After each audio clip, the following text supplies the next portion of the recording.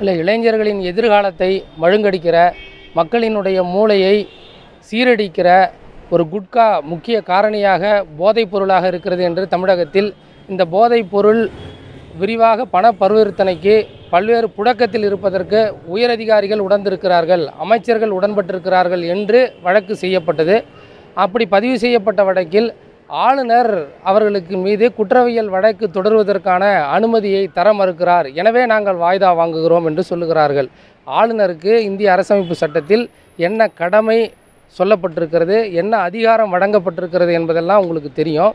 இந்திய அரசமைப்பு சட்டத்தில் he has to act at the advice of councils of minister இங்கே தமிழக அரசாங்கம் முன்னாள் அமைச்சர்களின் மீது ஊழல் புரிந்த காவல்துறை அதிகாரிகளின் மீது குற்றவியல் வழக்கு நடவடிக்கை எடுக்கப்பட வேண்டும். எனவே அனுமதி தாருங்கள் என்று சொல்லுகிறார்கள்.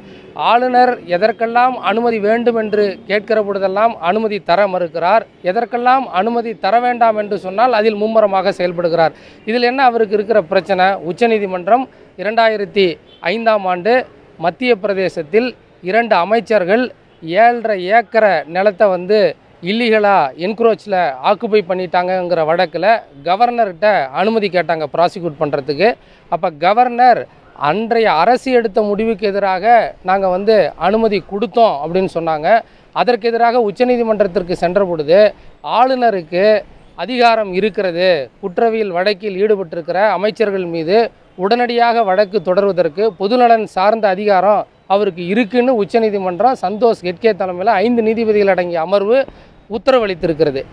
ஏன் இதில் வந்து அனுமதி கொடுக்க மாட்டாருன்னா ஆளுநர் அவர்கள் ஆளுநராக இல்லை ஜனநாயகத்தை காப்பதற்காக ஒரு ஆளுநர் இருக்க வேண்டும் என்று சொன்னால் இவர் ஜனநாயகத்தை காப்பதற்காக அல்ல நாங்கள் இந்த தமிழகத்தில் ஏதேனும் ஒரு சட்டம் ஒழுங்கு அல்லது பொது ஒழுங்கை விளைவிக்க வேண்டும் என்கிற அடிப்படையில் ஆளுநர் அவருக்குரிய அதிகாரத்தை செயல்படுத்தாமல் இருக்கிறார். குற்றவியல் நடைமுறை சட்டம் பிரிவு நூற்றி தொண்ணூற்றி ஏழு sanction against public servant government சர்வெண்ட்னு சொல்லுது. எப்போல்லாம் புது ஊழியர்கள் அரசு ஊழியர்களுக்கு குற்றவியல் வழக்கில் அவங்க மேலே ப்ராசிக்யூட் பண்ணணும்னா அவங்களுக்கான ப்ரொட்டெக்ஷனாக ஒன் நைன்டி செவன் இருக்குது அந்த ப்ரொட்டெக்ஷன் என்பது சட்டத்திற்கு புறம்பாக செயல்பட்ட அதிகாரிகளை காப்பதற்கோ சட்டத்திற்கு புறம்பாக செயல்பட்ட அமைச்சர்களை காப்பதற்கோ அல்ல. குற்றவியல் நடைமுறை சட்டம் தெளிவாக இருக்கிறது.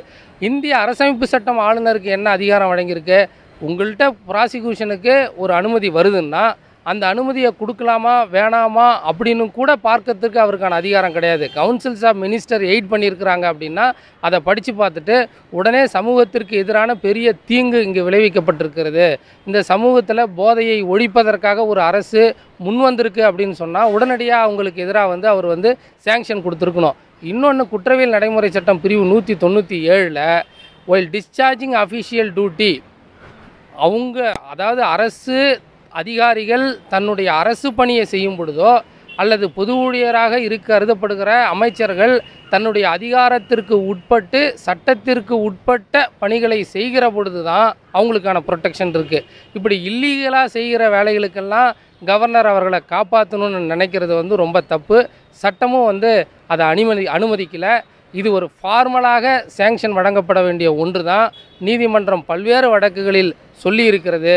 குற்றவியல் வழக்குகளில் ஈடுபட்டிருக்கிற பொது அதிகாரிகள் பொதுமக்களின் நலனுக்கு எதிராக செயல்பட்டிருந்தால் உடனடியாக அவர்கள் மீது குற்றவியல் வழக்கு தொடர அனுமதிக்கான அனுமதியை ஆளுநர் அவர்கள் தர வேண்டும் உரிய அரசாங்கம் தர வேண்டும் என்று சொல்லப்பட்டிருக்கிறது.